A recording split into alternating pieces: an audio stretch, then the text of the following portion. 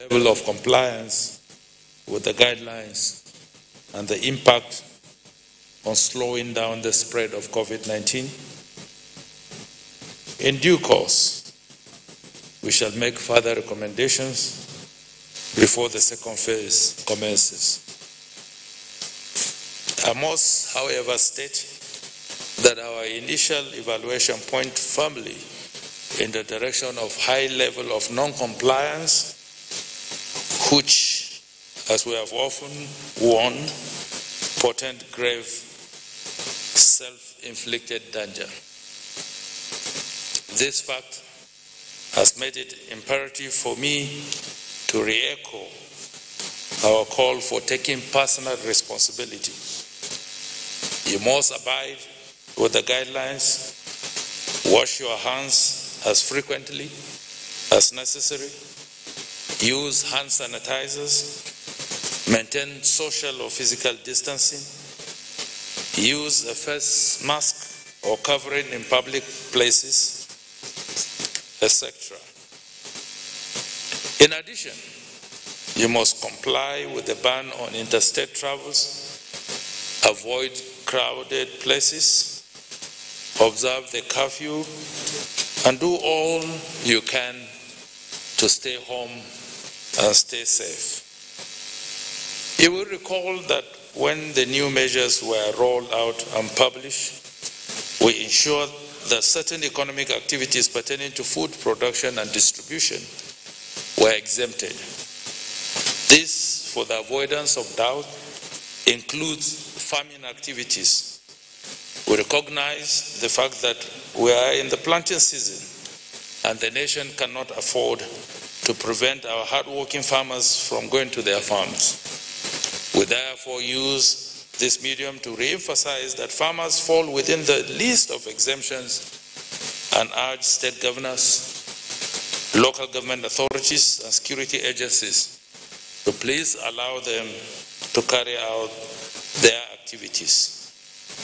Our food security is critical to our national security. In the past two days, the Presidential Task Force has briefed the topmost decision-making bodies of the country on progress, challenges, and planned course of action.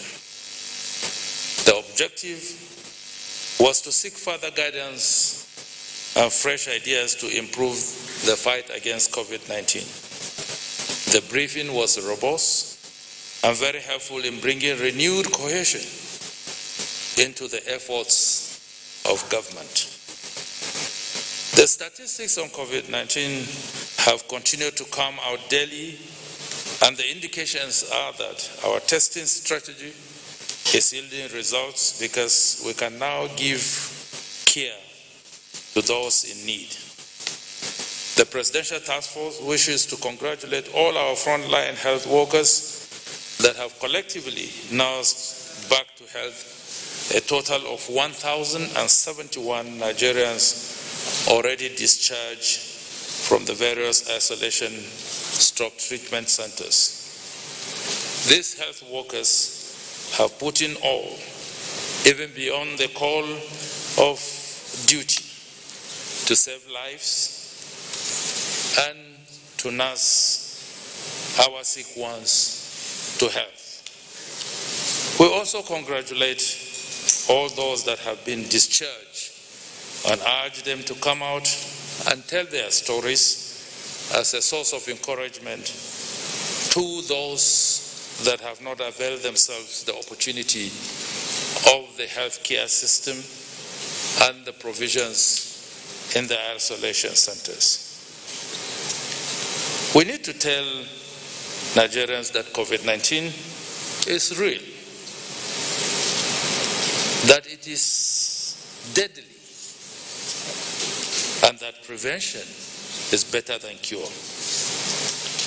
There is no better convincing and compelling evidence of the reality of the dangers than the experiences of our compatriots who have gone through that experience.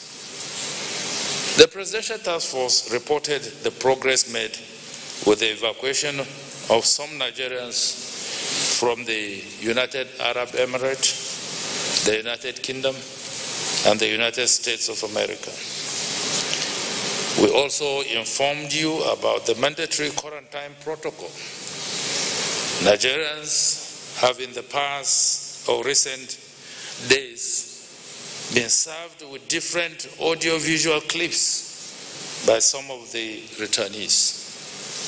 The Presidential Force is saddened by the conduct of some of the returnees who failed to adhere to the conditions attached to the quarantine. I strongly urge them to obey the rules in the facilities and also urge their friends and relations to recognize the contagious nature of the disease by desisting from visiting them. Complying is in the interests of the visiting relation and in the overall public interest. The Presidential Task Force is pleased to inform you that it has facilitated the visit of the national leadership of the Nigerian Medical Association, JOHESU, the National Association of Nurses and Midwives, the Pharmaceutical Society of Nigeria, Association of Health Professionals, and the National Association of Resident Doctors to Lagos and Kano.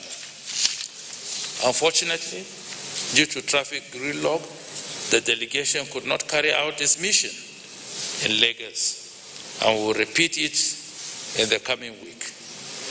This collaboration underscores the importance the Presidential Task Force attaches to inclusiveness in the battle against COVID-19. It also reassures our medical personnel that they remain a top priority for government in this effort. The Presidential Task Force welcomes the resolution of the Nigeria Governors Forum to take steps to ramp up testing and provide the prescribed minimum number of bed spaces in their isolation stock treatment centers. We, in turn, assure the states that the Nigerian Center for Disease Control will continue to provide technical support and standardization guidelines it will also continue to firmly pursue its surveillance activities nationwide. We urge the states to recognize the essence of a strong partnership and always allow overarching public, public interests to prevail.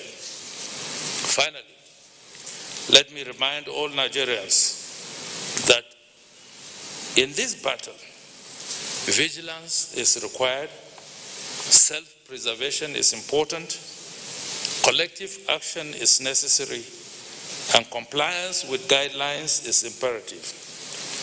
All this will help us prevent infection.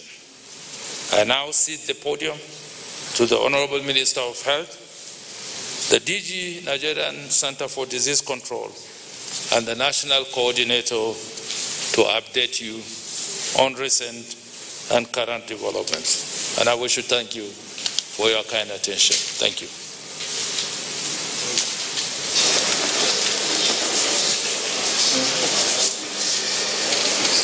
The Secretary to the Government of the Federation, honorable ministers here present, our permanent secretaries, directors and directors general, ladies and gentlemen, of the press. Yesterday, the 13th of May, 2020, 184 new cases of COVID-19 were recorded in 22 states. A breakdown of the cases by states shows Lagos 51, Jigawa 23, Bauchi 16, Katsina 16, Kano 14, FCT 10, Rivers 10, Kwara 9, Delta 5, Kaduna 5, Sokoto 4, Oyo 4, Kebbi 3, Nasarawa 3, Osun 3, Ondo 2, Ebonyi 1, Edo 1, Enugu 1, Anambra 1, Plateau, Niger 1 each. Six fatalities were recorded in the same period, bringing to 4,000 the number, total number of cases in the country to 4,971 um, on record, confirmed in Nigeria, with sadly total of 164 fatalities. So far, 1,071 patients have been treated and discharged. As we inch towards significant milestones in our COVID-19 statistics, we are looking at all options to adjust our approach to the emerging situation. The Federal Ministry of Health and its agencies, particularly the Nigeria Center for Disease Control and the Nigeria National Primary Healthcare Development Agency, have scaled up training in infection prevention and control, case finding, case management, emergency patient transportation systems, surveillance outbreak response management analysis system, known as SORMAS, all the way down to training of hygienists, stretcher bearers, security personnel, and all us you will find manning isolation and treatment, treatment centers. This will increase confidence in the health system, reduce incidents of infection, and also reduce instances of desertion and improve overall performance. We have also deployed commodities like personal protective equipment and other supplies to the states and to federal health institutions, and in addition continued with supplies to laboratories to forestall the much reported delays arising from shortages. These measures and others are to address the needs reported to us by the Federal Ministry of Health team presently deployed in Kano which has also paid exploratory visits to Jigawa, Bauchi, and Katsina, and is preparing to visit Sokoto and Borno very soon. Part of the needs already identified is the urgent necessity of on-site laboratories with molecular diagnostic capacity to reduce the presently extended turnaround time for results. Practical hand-holding personnel training has also been requested for some of the health systems who have had little experience in the past with infectious disease management. To this end, more personnel is to be deployed from the Federal Infectious Disease Hospital in Irrua, while the kind offer of Lagos and the State governors will also be drawn upon to send experienced health workers to assist. The step-down training will be a priority in the entire exercise to build capacity down to the level of community health workers in the bid to sustain safe and comprehensive delivery of COVID-19 services. The federal ministries of health and the Federal Capital Territory held a ministerial meeting today and agreed on a firm synergistic collaboration and cooperation framework to respond to the challenges of COVID-19 in the Federal Capital Territory. A joint committee led by the Honorable Minister of State for Health and including the permanent secretaries of both ministries was created to oversee the newly donated this day dome treatment facility. The initial medical team is to be headed by the Chief Medical Director of Federal Teaching Hospital, Irrua, and his team, and the training uh, regimen will be instituted to build the capacities of workers there. We also paid an inspection visit to the 600-bed COVID-19 treatment center at Idu, a flagship project of the Federal Capital Territory. Also slated for special emphasis is the delivery of routine service in all our hospitals in the country. Latest statistics from the National Health Management Information System indicates that outpatient visit has dropped from 4 million to about 2 million, antenatal visits from 1.3 million to 655,000, skilled birth attendance from 158,000 to less than 99,000, while immunization services has dropped to about half. All these have as yet undetermined consequences which the easing of the lockdown should hopefully address. As you all know, we have insisted on sending members from Family Health Department and also asking Primary Healthcare Department, Primary Healthcare Development Agency to accompany the mission in Kano in order to stir up and activate routine services which has been going on very well. However, the downside of easing the restrictions in the country needs to be balanced off by all citizens with a collective determination by all of us, not only to comply with protective and prophylactic advisories, advisories but to encourage relatives, uh, friends, neighbors, and customers to do the same. The use of facial covers like masks in places where social distancing may be difficult or impractical should be supported by all of us and emphasized through donation of masks to the population as an act of goodwill. Face masks should become commonplace, and I look forward to seeing cooks and food vendors, for example, wearing masks or risk losing customers. I wish to enjoin workplaces to also institute such requirements and ensure that all workers are masked and knowledgeable about COVID-19 and by extension to share with their families and relations. We must realize that the wearing of mask is not an alternative but a supportive initiative and it is the least that we can do to protect ourselves and our opponents. Also, while on face-to-face -face communication, your mask needs not be removed. Otherwise, the purpose is defeated.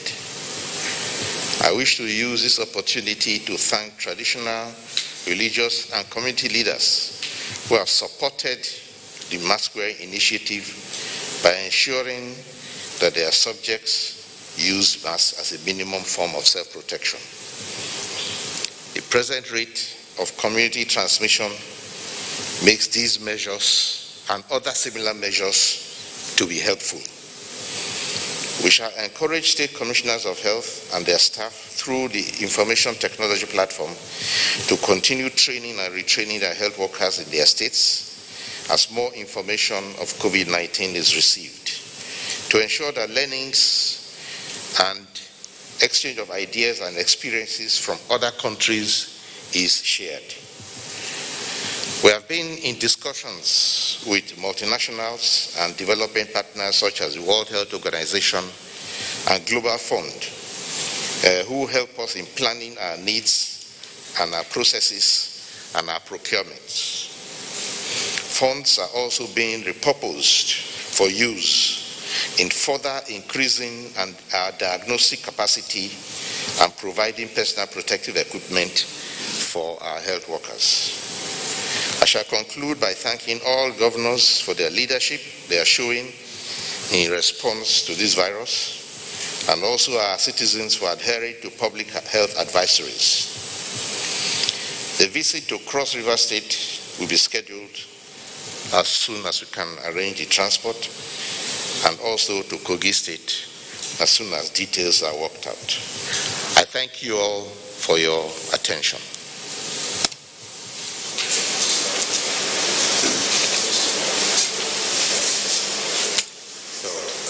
Chairman of the Presidential Task Force and Secretary of the Federal Government, Honorable Ministers, gentlemen and ladies of the press.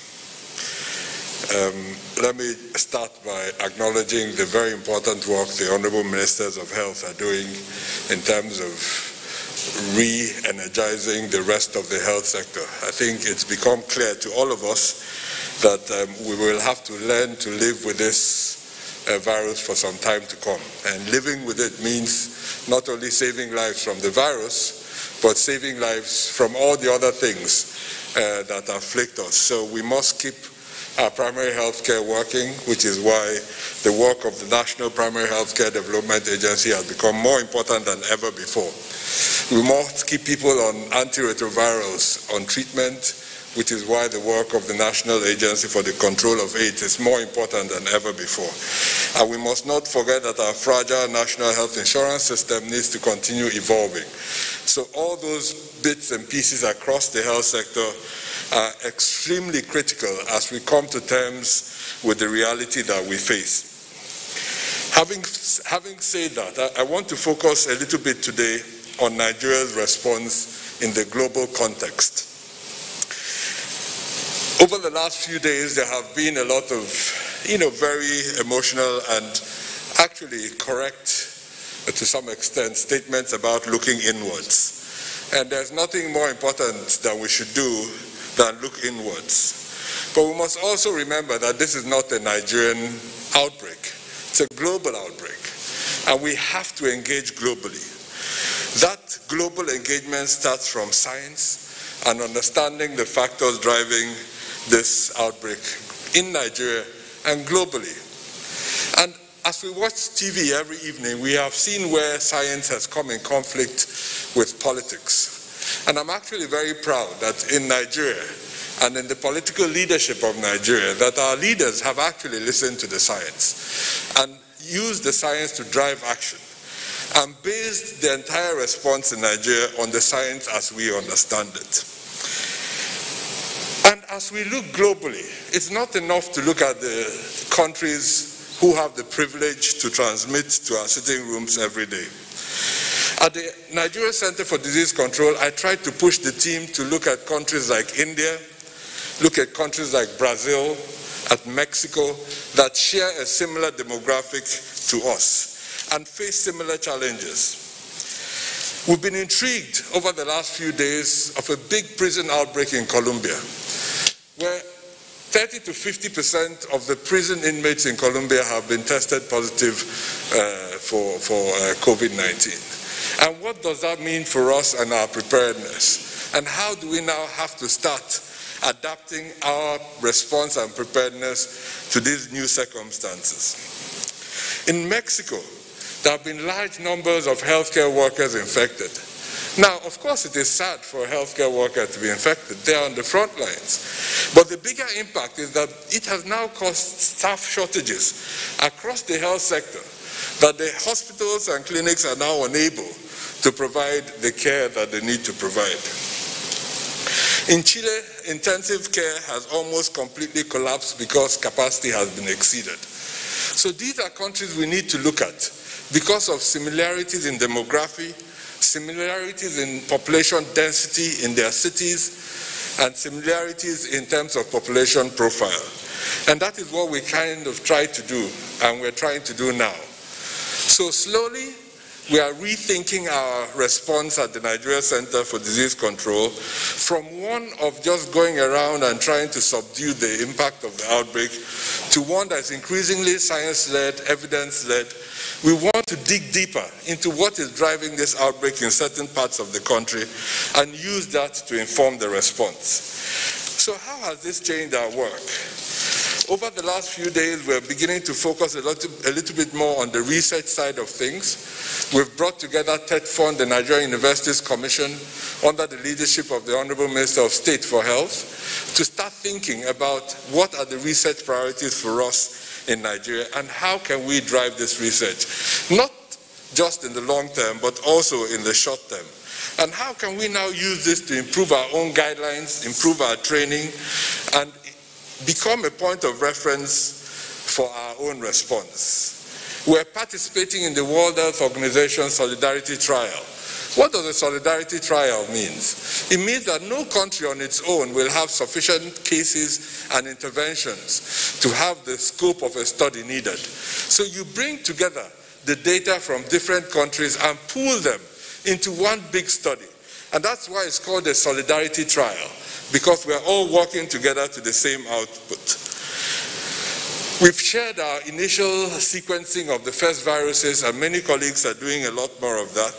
We've just started a study called the first few hundred cases, and a, and a protocol adapted from WHO's protocol, which we will share with many other countries. So we're working with ACEGID, with NIMR, for this, with the Center for Human Virology and Genomics, the Center for Human and Zoonotic Virology at LUTH, and many other partners in the academic sphere to start thinking about how do we develop our response further.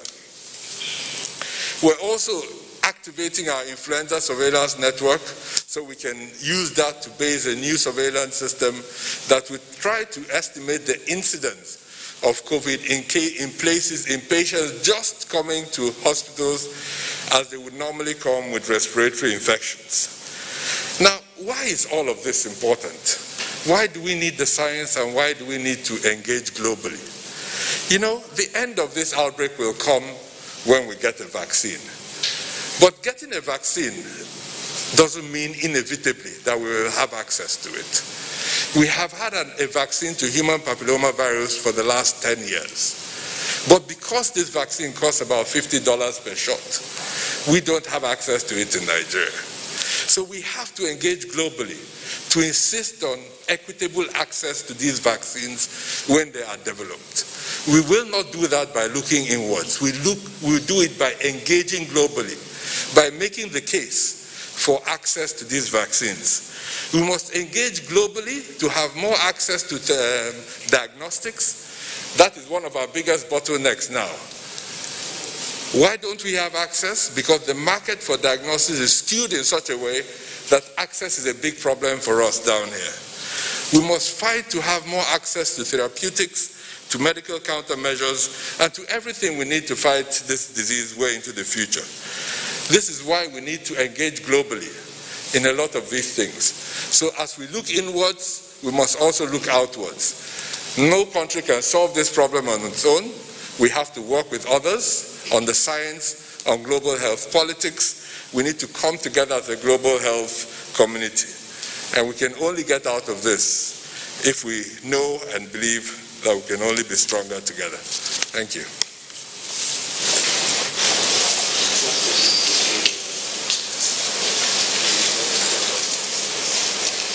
Secretary to the Government of the Federation, um, members of the Presidential Task Force, ladies and gentlemen of the press, um, good evening. Uh, today I would like to talk about the common misconceptions on COVID-19, but before I do that, um, I need to just say a few words on uh, security and surveillance. As we all know, um, COVID-19 has brought with it its own security challenges. Uh, the PTF continues to ensure that citizens' safety is prioritized uh, during the pandemic. It is particularly important to emphasize the importance of free movement of goods while restricting um, unnecessary, non-essential interstate uh, movement of people. So to this end, um, the PTF continues to urge security agencies to reinforce their surveillance across the states to ensure the protection of lives and property. Uh, so now to the issue of um, common misconceptions on COVID-19. um, as we all know, they say knowledge is power, and uh, by having that knowledge, you will be able to protect yourselves. Um, as stated by the DG NCDC, the national response is driven by science, it's driven by evidence and by data. So I'd like to um, go through a few common misconceptions on COVID so that we can all um, educate ourselves and um, remain safe. So the first one has to do with climate. Um, hot climates prevent the spread of COVID-19. Well, no matter how sunny or humid the weather is anybody can get COVID 19.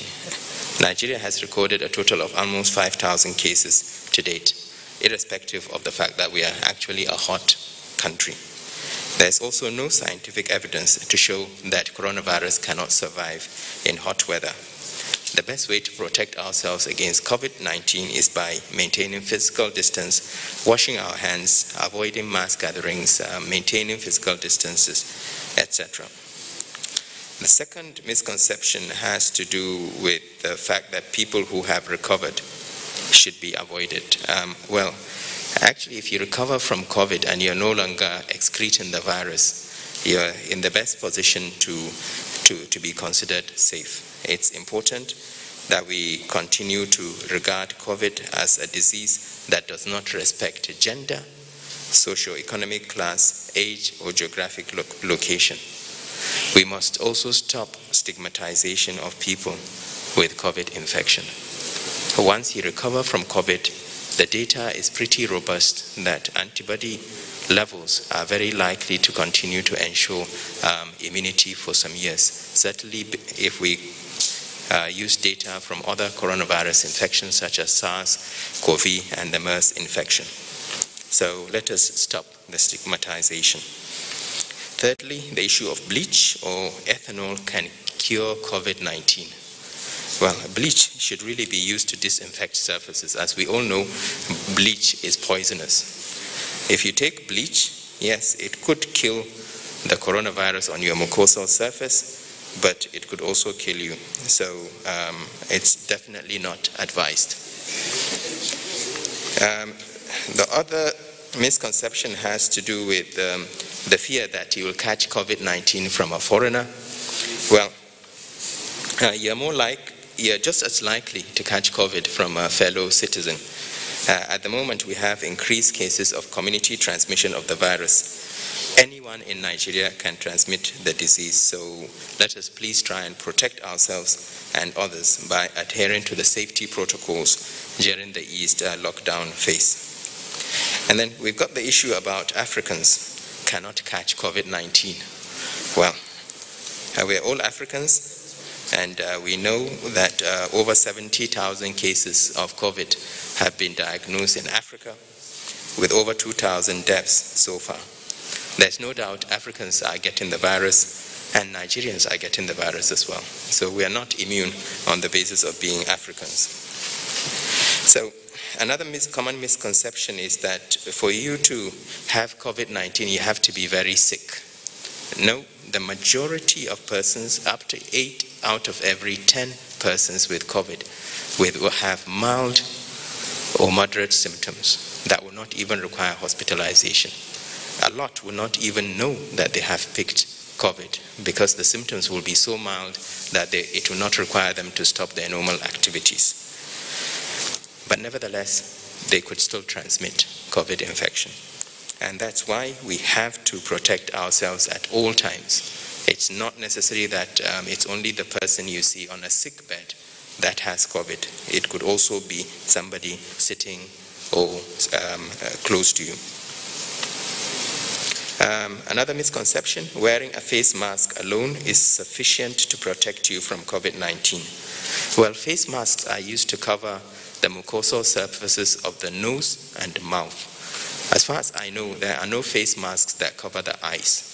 So um, you can still catch COVID if you expose yourself to somebody with the infection, especially if you stand very close to the person and that person is talking into your face.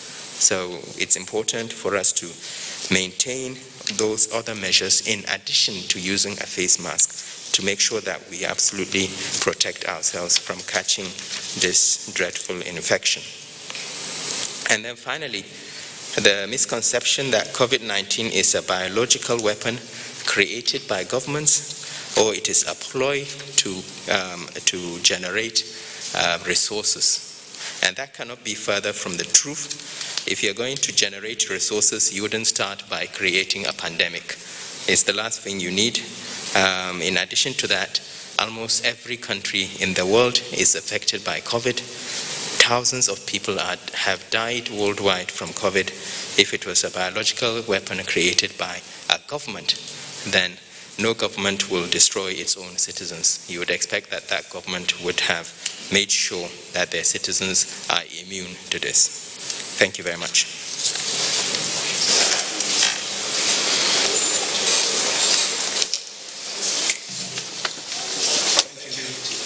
We have taken all the updates now.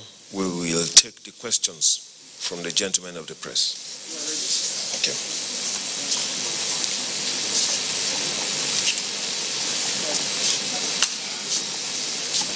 My name is Felix Onuah. I'm from Reuters. Uh, my question is directed to Minister of Health. In one of the briefings, um, we were told that an investigation is being conducted to unearth the mass deaths in Kano. I would like to know whether the, the report or that investigation has been concluded and what the result is.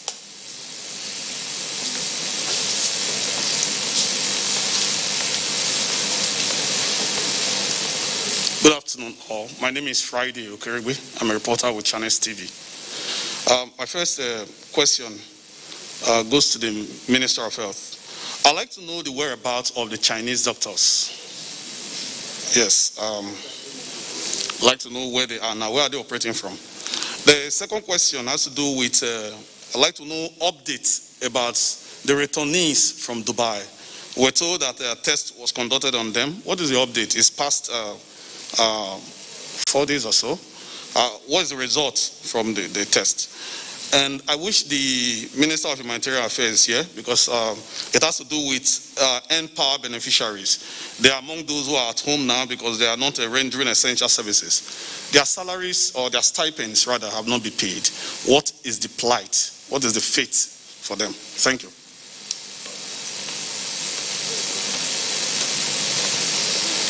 Good afternoon, members of the Presidential Task Force on COVID-19. My name is Yemi Adebayo from AIT. well, uh, I have a couple of questions here for the PTF today. And the first one uh, has to do with the upliftment of the uh, Madagascar COVID-19 cure. Uh, the SGF, you said on Monday that uh, arrangement is currently being made to lift this uh, consignment from Guinea-Bissau. I want to know, do we have the consignment now? And what's the next stage? If we do have the consignment, if we don't have it now, what are the challenges? Because he told us on Monday that we are, the arrangement is already being made.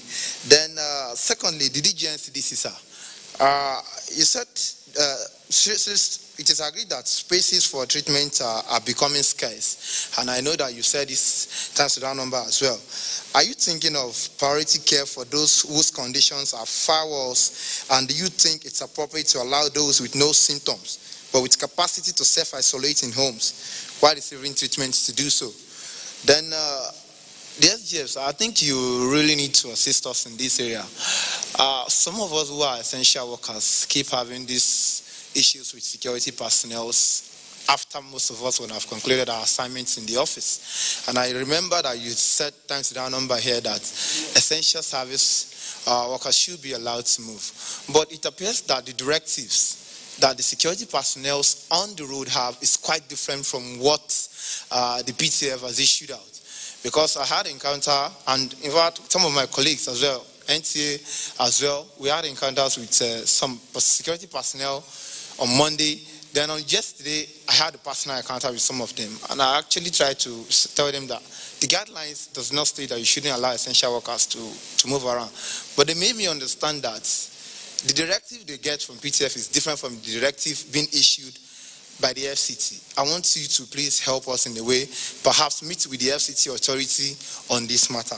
Then finally, somebody will, someone would like to know if wearing a non-wearing a face mask is now a criminal offense as read in the regulations. Thank you so much.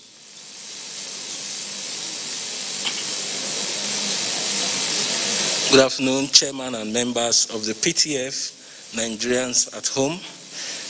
My name is Mitaire Ikben. I report for the NTA. I want to ask the DG of the NCDC uh, given that human droplets containing coronavirus can remain on surfaces for hours, some Nigerians want to know are, are there other agents of uh, transmission of the coronavirus apart from human to human transmission, like uh, rodents or housefly, which we know perch on uh, surfaces a lot? And for the SGF, uh, we'll have this question. The, with the coronavirus pandemic, the way we work and live now require greater internet access and connectivity, especially when want to observe uh, issues of uh, social distancing and abide with the ban against uh, mass gathering beyond 20 persons.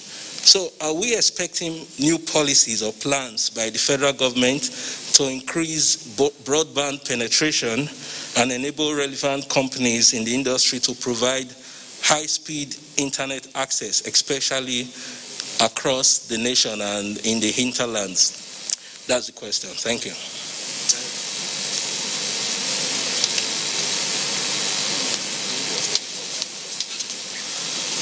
Good afternoon, USGF, members of the PTF, my colleagues. My name is Mohammed Saliu Nazif. I work for Voice of Nigeria.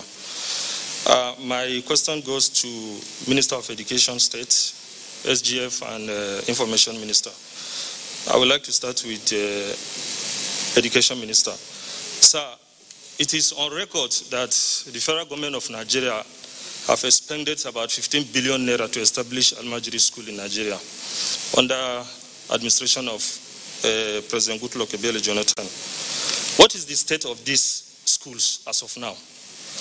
And who control these schools? What role did your ministry, through UBEC and SUBEC at the state level play either to the success or the failure of this Almajiri system that we are seeing. To SGF, sir, going forward, we have seen how various states are repatriating these Almajiris to their state of destinations. Is there any profiling going on about them so that post COVID-19, at least making reference, taking them back to those schools instead of allowing this school to just decay after spending billions of naira on it.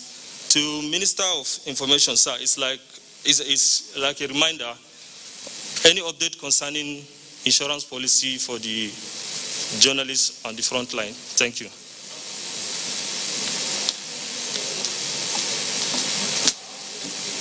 Good afternoon all. My name is Nike Adebowale. I report for Premium Times. My question is for the National Coordinator, sir. So we're all aware that NCDC was given about 5 billion naira to support its fight against COVID-19, and Lagos State was also given about 10 billion naira. So, sir, I want to know how much has been given to the National Institute for Pharmaceutical Research and Development and other research agencies. Thank you. Good evening, the SGF, ministers, my colleagues. Um, my question is to the National Coordinator. My name is Nancy Anika from Radio Nigeria. It's more of a follow-up with what my colleague from the AIT said. Today, the medical doctors in the FCT held a briefing, and they are threatening to go on strike if the harassment by security agencies do not stop. They said they literally asked them to come down from their cars and sit on the floor once it's curfew, even with the presentation of their ID cards stating that they were on night duty. Please, I would like that to be addressed. Thank you.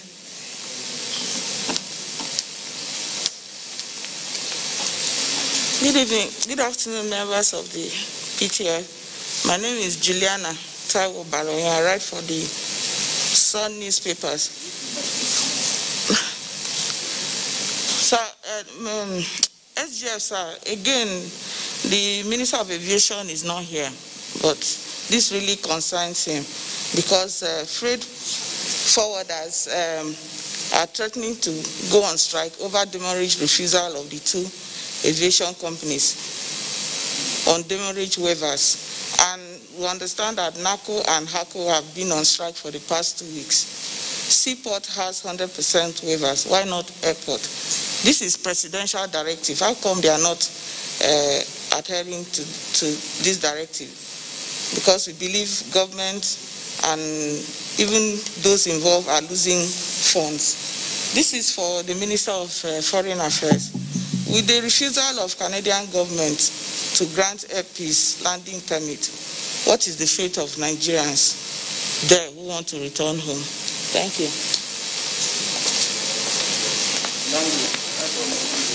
mo kí alága àti gbogbo ọmọ ìgbìmọ̀ orúkọ tèmi ni agboola elúfowójù láti iléeṣẹ́ móhùnmáwòrán àpapọ̀ NTA ìbéèrè mi lọ sọ́dọ̀ mínísítà fún ètò ìròyìn àti ọ̀rọ̀ àṣà alhaji lai muhammed ìbéèrè náà ni pé láìpẹ́ yìí ní ìjọba ìpínlẹ̀ borno kéde pé òun ti gbẹ́sẹ̀ kúrò lórí òfin ìséde kónílé-ó-gbélé àti pé àwọn ilé ìjọsìn ẹlẹ́sìn kristi tàbí ti islam wọ́n lè lọ́ọ́ máa jọ́sìn ìbéèrè mi wá ni pé tí àwọn ó ṣeé ṣe kí àwọn ìpínlẹ̀ mìíràn náà tẹ̀lé irú ìgbésẹ̀ yìí ṣé eléyìí ò lè ṣe àkóbá fún àwọn àṣeyọrí tí ó ti wáyé nípa ìgbógun àrùn covid-19.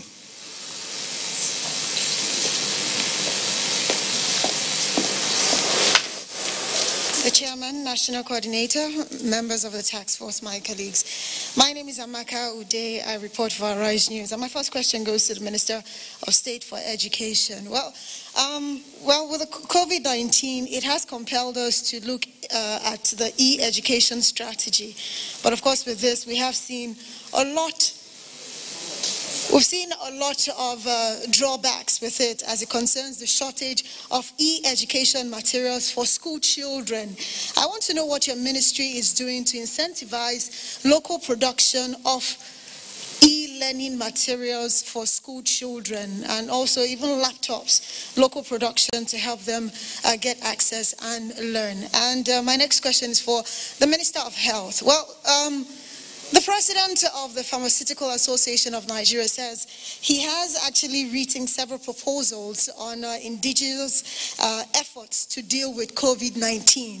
So I want to get your confirmation if you've actually seen some of those proposals and where we are in terms of, you know, the ones you've seen, the ones that have potentials and what we're doing really. Thank you.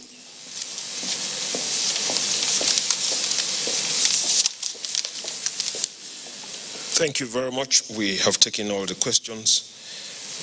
Um, they have been directed as the, at the Honorable Minister of Health, the DG NCDC, the National Coordinator, the Honorable Minister of Information and Culture, Honorable Minister for Foreign Affairs, Honorable Minister of State, Education. There's a question for Honorable Minister of Humanitarian Affairs, but she's not here. It's been noted and um, the SGF will round it up after all the responses. We shall begin with the Honorable Minister of Health.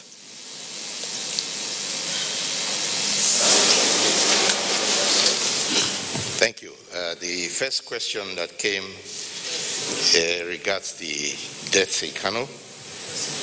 Well, I can report that uh, the uh, so-called unexplained deaths were not only in Kano, they have also been recorded or mentioned in connection with other states. And the team that left the Ministry of Health to Kano is looking at all of these, uh, creating a protocol and a system to uh, go look into these unexplained deaths.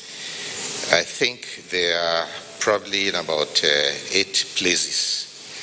Uh, what he has done so far, what we have agreed that he does to call for pathologists from all over the states concerned and do a training. They have conducted a training.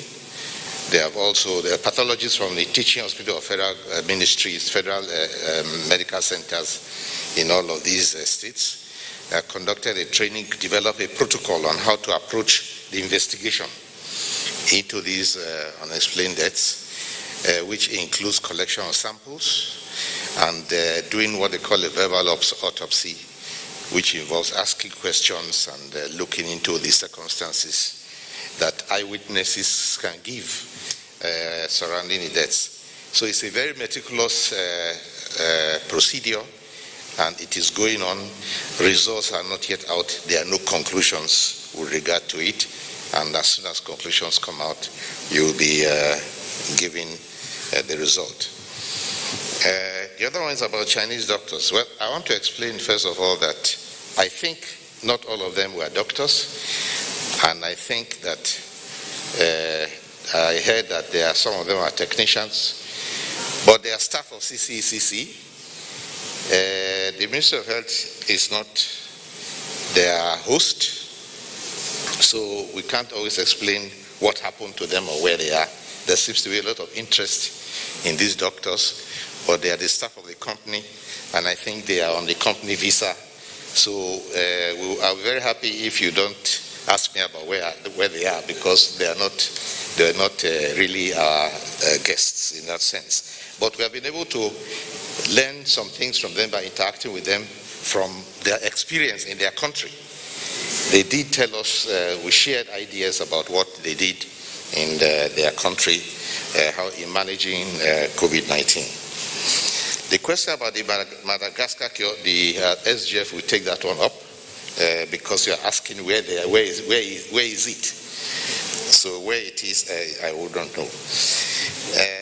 the self-isolate at home, yes, it's an option. We have been talking about the NCDC has released a very nice guideline for that, and but not everybody is eligible for that. Not everyone uh, NPHCDA, Primary Healthcare Development Agency, is coming up also with a, has come up with a very beautiful uh, contribution that creates circumstances under which it is safe for some people uh, who have undergone certain uh, questionnaires to be uh, uh, at home, but definitely supervised, supervised self-isolation, and but it's not for everyone. Now, he will be able to add more to it when he comes on here. Now, uh, the non-wearing of mask, we are not saying it's a crime. If it is recommended that something is good for your health, I think you don't need to question. It doesn't have to be a law before you do that. But if something is good for you and good for me, then definitely it's a very sound advisory. You don't need to make a law out of that. If you wear a mask and I don't, there's a certain percentage of protection for one of us. If both of us wear masks, we are protecting ourselves. According to some studies, which uh, I, am not sure they are confirmed, but there are studies which say that up to 90% protection from mutual. But it's still, it's not a protection. Absolutely, not a 100% protection. And then back to the Pharmaceutical Society, we encourage all those who know, who have an answer, who think they have an answer to the COVID-19 problem to go ahead and do the research they want to do. Our universities are there. Uh, we have research centers. The ministry itself is just a regulator. You, we, we, overlook, we overlook all of this. NAFDAC is there to certify what you need to do. You don't have to, you can go to them. You don't have to push everything you want to do into the ministry. The ministry is not the one to give you permission. You can get the, where, there's a point where you have to, if you want to do a test, you go through, uh, do ethical trials. There's a committee that uh, will allow you to do ethical uh, uh, uh trials where you are doing phase one, phase two. So there are processes for that. And it's not to be in, imagine that the ministry is, is, trying to stop anybody or that the ministry is one to give you your your permission, your encouragement. But certainly the ministry will not start giving anybody money uh, to go and do things unless they are looking at a grant for it. There are organizations that give grants to do research in itself. I think that covers the question. Thank you. What is the result of the returnees from uh, UAE, our testing? On what? The returnees from Dubai, our testing. What is the, what is the update, the result? The returnees from Dubai and from the UK and from uh, the US, they are still in, within their 14 days of quarantine. There is no uh, report or no, no uh, result yet. They are still under observation. After uh, 10 days or 11 days, they will have tests done, and that test will show who is positive and who is not. So it's a routine process they are under now, a routine uh, quarantine that goes for 14 days.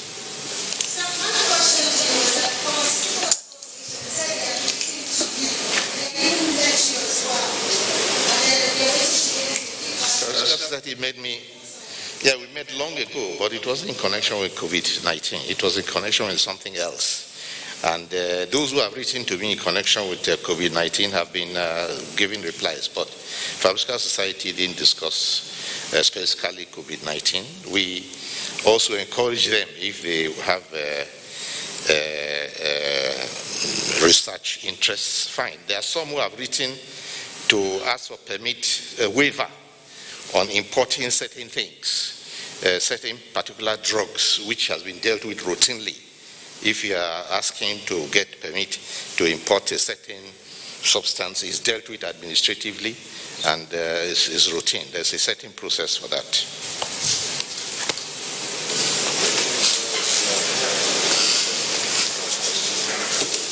So thank you. Um, uh, Friday, just to uh, affirm what my honorable minister said, you know, we're, we're, doing this test. Even when the tests are out, we're not going to come back and offer you the results, right? We'll offer it to the patients, and uh, if, they, if there are patients, and we'll manage that. So we're not going to share results from uh, whether you've come back from Dubai or whether you're living in Nigeria. Um, the results are meant for the patients who got tested. Um, secondly, there was a question on prioritization of uh, care facilities. Yes, we are working very hard to prioritize care facilities for those who need it the most. But you have to remember the circumstances are different, right? There are states like Lagos and Kano where there are a lot of infections, the burden is very high, the transmission is intense. The um, response in terms of institutional care will be different than in many states where we have one or two cases and we're fighting very hard to uh, minimize the impact on the health sector. So the policy of government remains to provide institutional care for everyone infected. But there are certain circumstances where this is not possible. There could also be individual circumstances, a different illness, personal circumstances that limit that person from going into an institution. Uh, in that case, we will offer an alternative and that's what we're working. But the policy of government remains uh, institutional care for everyone for now. And the, third question really was um, um, from NTA. I think that was around whether there were other hosts, other mechanisms of transmission from rodents or flies from surfaces. There, there, are none that we know of at the moment. But um, those surfaces are important. So let me just use this as an opportunity to advise, you know, we need to wipe our surfaces regularly. So if you, if you walk in an office where there's a staircase and everybody touches that staircase as you're going up, get one of the cleaners. Uh, the easiest thing is bleach. Uh, dilute bleach with about half a cup of bleach to one gallon of uh, water and use that to regularly disinfect surfaces where people put their hands on all the time. So places like this, the handles of staircase, handles of doors, all those things that where there's a lot of traffic and people handle all the time. Um, it's important that we wipe those surfaces as often as we can with a very simple disinfectant. Mix half a cup of bleach with a gallon of water. You get a very effective, effective disinfectant to uh, wipe all your surfaces. So thank you very much.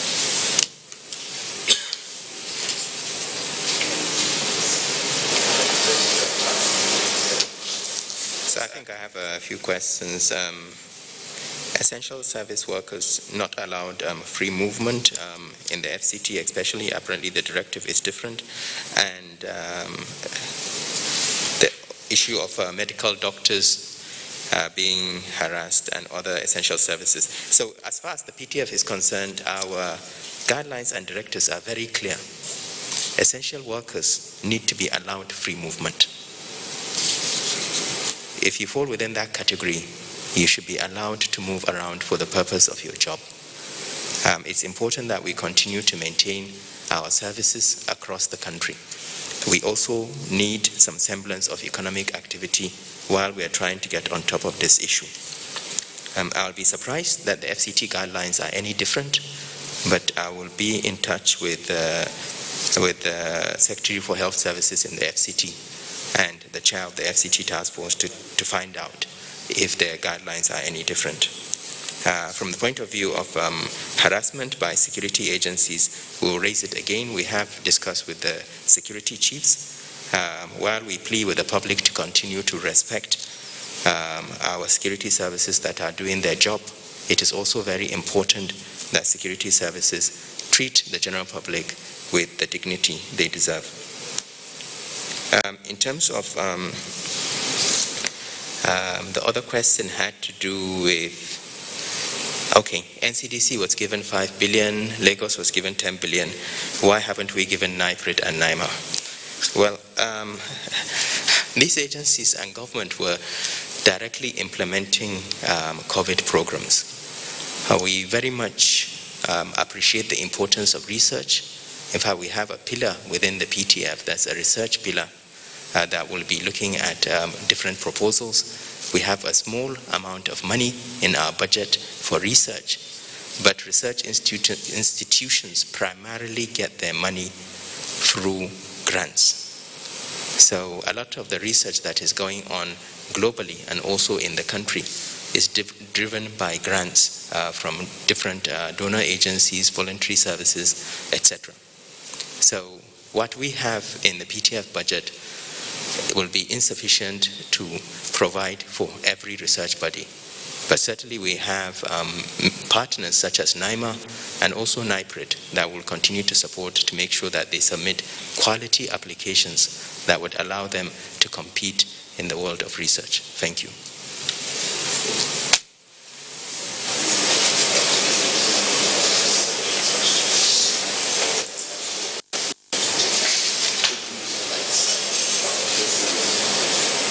Thank you, Mr. Chairman, and members of the PTF, and uh, gentlemen of the press. On the issue of insurance for journalists, I think we have to be quite frank with one another. Uh, it is the responsibility of the employers of labor to provide insurance for the employees at this kind of, uh, you know, time. And whether it be private, federal government or state government, I think they have the responsibility to provide for insurance for their frontline workers at this time. And uh, it's my hope that um, various media houses at whatever level will take the opportunity of the pandemic to ensure that uh, insurance covers are included in the condition of service of their workers. I have no doubt that uh, the various employers of labor will see what we are saying. If they need persuasion, will not be averse to it. But don't forget that I also have a big responsibility because I'm also an employer of uh, journalists who are on the front line. So I believe that we have responsibilities to our employees. Um, on the issue of Borno, uh, which was asked in Yoruba, I would explain, uh, I would give my position first in English, then in Yoruba. Uh, on Borno State, I also read uh, that the government has ordered for relaxation of lockdown. But we still don't have the full picture yet, and therefore it will be premature for me to comment on this uh, situation. But as we are always working together with the Nigerian Governors Forum, uh, we believe that uh, the governors won't do anything that will put in jeopardy all we've achieved in the last uh, few weeks of lockdown. So I think it's better that uh, we continue the engagement, and I'm sure that the chairman of the task force, who is constantly in touch with the governors, will take up this matter, and we hope that uh, they'll be able to give you feedback when next we're here. Uh, ní Yorùbá, wọ́n ní Yorùbá bọ̀, abọ́yadé gbogbo ọlọ́yà ni ló ń ṣe. Lóòótọ́ ìbéèrè tó mọ́gbọ́n wá ní ìbéèrè tí tẹ tí ní ọ̀rọ̀ tẹ béèrè yìí. Lóòótọ́ àwa náà kà ṣùgbọ́n àti ní àǹfààní láti bá gómìnà ìbílẹ̀ bọ̀ọ̀nù àti béèrè lọ́wọ́ wọn wípé ṣé lóòótọ́ ni tí wọ́n sọ wípé kí mọ́ṣáláṣí àti church àti ilé ìjọsìn pé kí wọ́n máa ṣe bí wọ́n ṣe ń ṣe tẹ́lẹ̀tẹ́lẹ̀. Tó á tí à ń fi sọ pàtó pé tí wọ́n ṣe ó dáa tàbí ò dáa ni pé àyífá orí olóyè orí olórí ní ẹ̀yìn olórí. A fẹ́ béèrè lọ́wọ́ gómìnà náà pé ṣé lóòótọ́ ni wọ́n sọ bẹ́ẹ̀? Ẹ má gbàgbé wípé gbogbo ìgbà ni àwa àti àwọn gómìnà ni à ń là ń sọ̀rọ̀. A dẹ̀ ń fúnra wa nímọ̀ràn a sì ní ìdánilójú wípé àwọn bí bí àwa ṣe ń dè wọn ò ní máa tú táwa bá ń dè tí wọ́n bá ń tú á dàbẹ̀ ni wípé à ń dọ omi sínú apẹ̀rẹ̀. Ẹ fún wa ní àǹfààní ká bá gómìnà ìbílẹ̀ Borno. Ká béèrè lọ́wọ́ wọn wípé ṣé lóòótọ́ ni ti àwọn oníwèé ìròyìn sọ kó sì ṣe àlàyé fún wa ìdí tí ó fi ṣe bẹ́ẹ̀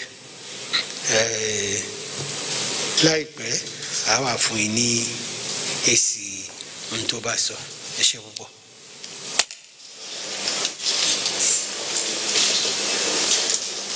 Thank you. Honorable Minister of Foreign Affairs.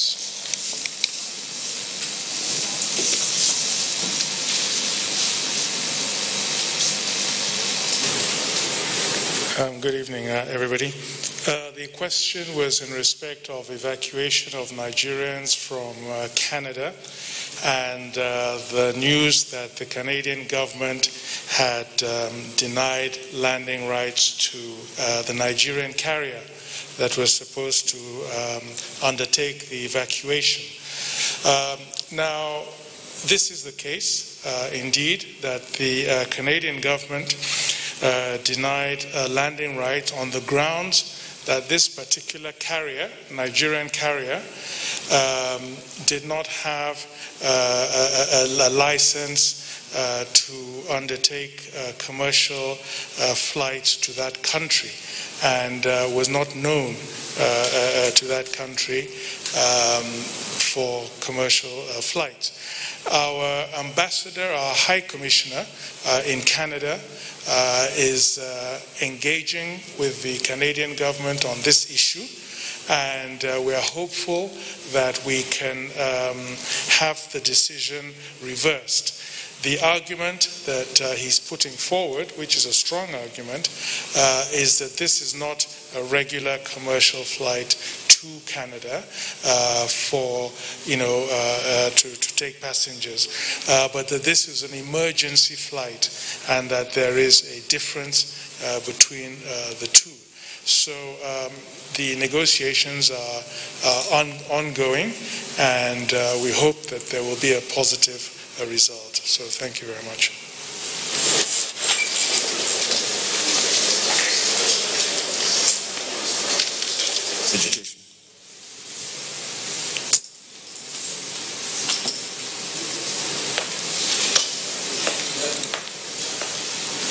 Good evening, everybody. Um, the first question relates to what we are doing with the Sangaya schools. Indeed, you are correct. Over 157 such schools were built a few years back. Within the first part of this administration, uh, the Honorable Minister of Education, Malam Adamu began the process of getting different state governments and um, Islamic scholars to take over these schools. I happen to be privileged to have come in quick uh, in August when I handed over the first few ones uh, in Bauchi. I, we handed over to Sheikh Dahiru Bauchi to begin this process. Many of them, uh, the locations are a little bit far off, and some governors have requested to change their purpose in Gombe. I also uh, agreed with the governor to turn one of them into a college of education because uh, states are reacting to what they do not have and to use the facilities in the best way possible. We fully agree with the northern governors on the arrangement to take in and take back all Almajiris. Indeed, they are actually obeying the law because the UBEC Act of 2004 demands that there will be a local government um, enforcement body to make sure that all these uh, children return back to schools. The argument is not whether what they are doing is right. The argument is whether the time is auspicious. And if you look at the, the argument the governors have made, they said this is about the best period to capture everybody where they are because they are not moving. And that argument is extremely plausible. We only reacted only in line with the, the regulations that had been imposed about uh, curfew in between states and whether this was an essential service at this time. However, we are working with all state governors and all sects in the north who may want to use these facilities. They are all available and we are continuously engaging with them to either improve them or use them in the best way possible. So they are not a waste. And um, the money that had been spent, maybe you may have issues with how it was spent, but, the, but those facilities are there and we are now putting them into use. We hope that with um, what has now happened with uh, taking off some of our children off the streets and then finding a way to progress them into and mainstream them into formal system, uh, we can then use most of those facilities. That's for Sangaya schools. The second part of question uh, relate to what we are doing with e-education. I'm happy you noted that we've expanded its use within this period. Yes, we were in the process of even making that a bit more useful like I said, and I've done this severally at several fronts, we welcome all participants. A lot of Nigerians have been very creative. They've joined forces with us. We've looked at all the online learning platforms that Nigerians have developed. There are almost 60 something of them, and we meet with them regularly. And whatever they can offer to their students, we encourage them to do. But you pointed out something that is really at the heart of it access there is limited asset because not everybody has the platform to access this. Um, limited devices. Nigeria is not a technology survey. Well, we're not producing. So the everything that you're going to use, like every other thing, is imported. This is a period of complete lockdown. Infrastructure around the world is channeled towards different things, even if we had the money. And unfortunately, spending in education has not been optimal. So it's not really a question of acquiring laptops and giving to everybody tomorrow. We are encouraging local uh, assembly and knowledge around it. We are discussing with a lot of the manufacturers. We've received letters from Xerox. We've received letters from the HP manufacturing uh, plant in uh, We've heard from all the people who want to supply us. We're also opening up the Ministry of Education to, to be a conduit with which those who have can send to those who do not have. For instance, we're now allowing a credit scheme over a five-year period for those who are in polytechnics, colleges of education, who do not have these uh, uh, tablets and laptops to make an acquisition with uh, alongside those who say they have.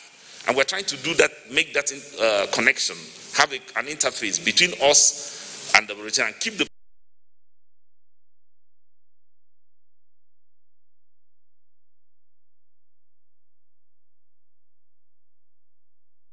like I pointed out, we are broadcasting over radios, television.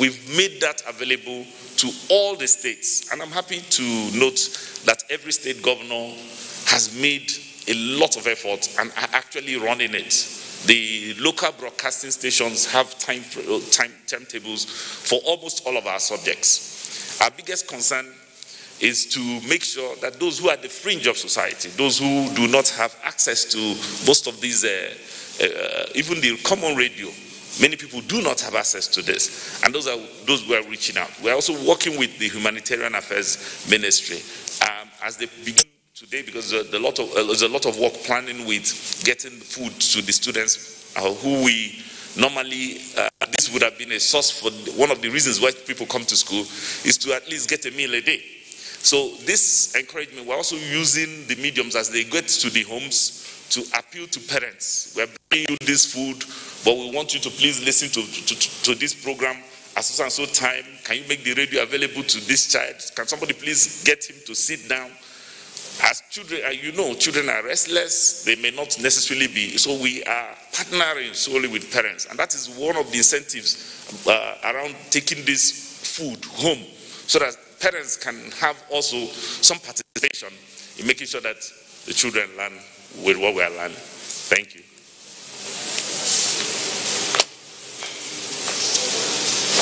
Thank you very much. We shall now take the SGF.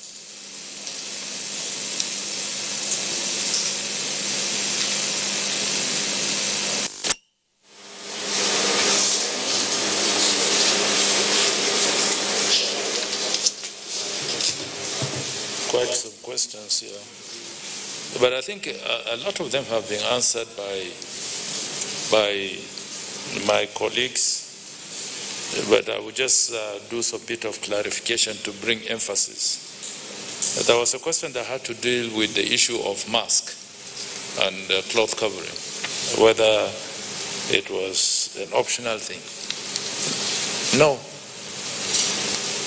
because we are persuasive does not mean that there is an option to it. It was part of the declaration that was signed by Mr. President. All the protocols are predicated on the authority vested on Mr. President by the Quarantine Act.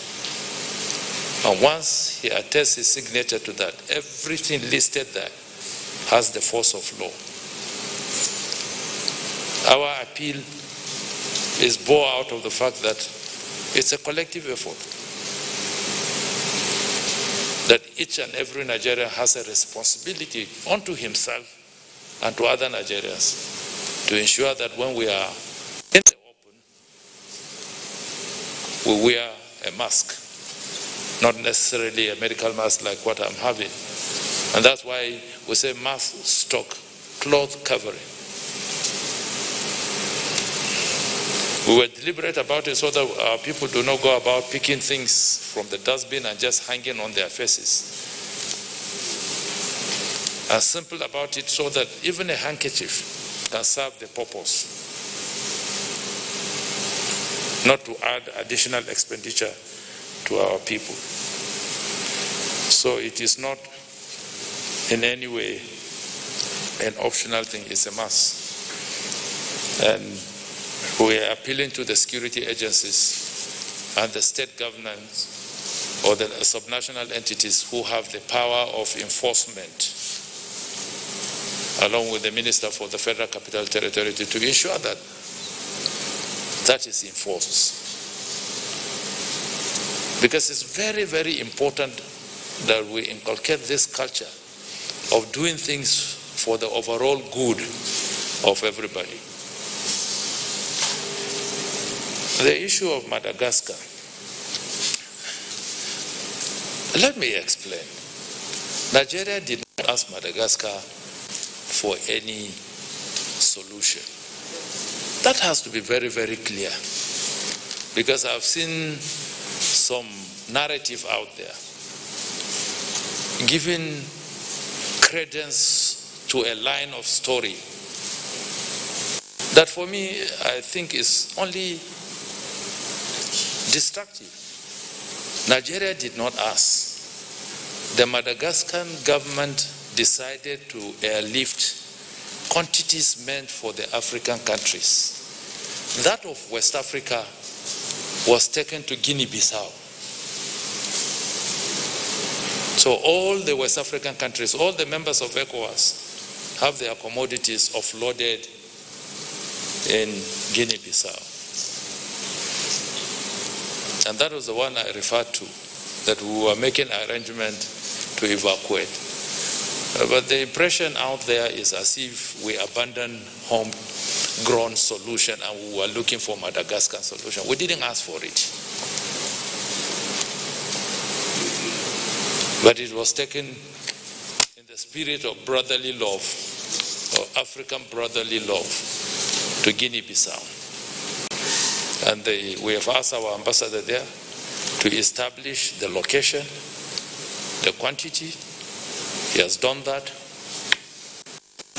We have to make an arrangement for its freighting out of, out of uh, Guinea-Bissau. There are no flights. So there are so many things that we have to consider. If we are freighting it through air cargo, that has its process. So please, can you help us explain to Nigerians that Nigeria did not ask for it? It was brought for West African countries, similarly for other parts of Africa. The consignment meant for West Africa was dropped in Guinea-Bissau, and every ECOWAS member nation has been asked to go to Guinea-Bissau and pick. It's not our priority now, it's not a focus. There are other things that we are dealing with to make sure that we contain the spread in our nation. We will do that. But that does not in any way downplay what we have asked our researchers and our scientists to do. In the last one or more week, I have consistently made this appeal. And for those that have been in the field of development in medicine and different inventions, they know the protocol. But I can, I can tell you that I get letters on a daily basis telling me that I have this invention. This afternoon, I received one with even the consignment. So I was wondering whether I was going to bring it here to try it on some of you. That is not the protocol. The protocol is to submit this thing to the appropriate organization that has the responsibility, that is known, established by government through an act of parliament, for it to go to the, through the processes of validation. It is not the responsibility of the task force to validate these things. So my appeal to our scientists researchers, don't bother sending them to the task force. Send them to the institutions that have been set up by government to do their job. And we know the institutions. NAFDAC is there.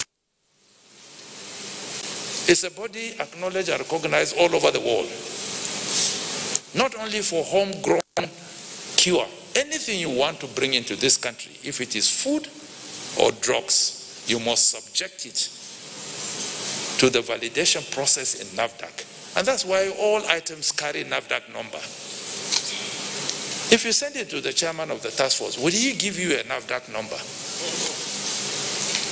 How? The task force is a body that has been put in place to provide a national response to the pandemic. We will not take over the responsibilities of agencies of government that have existed in the last couple of decades who have the primary responsibility of doing what they do. So we'll continue to make that appeal. I read a headline today I have not verified. NAFDAC DG is saying that probably just one. I have not verified, but it is in the papers. It is on the front page of one of the papers. That all, the stories that you are hearing and you are reporting on, there's only one that has been bold enough. I said I have not verified, but I saw it on the headlines and I the headlines too.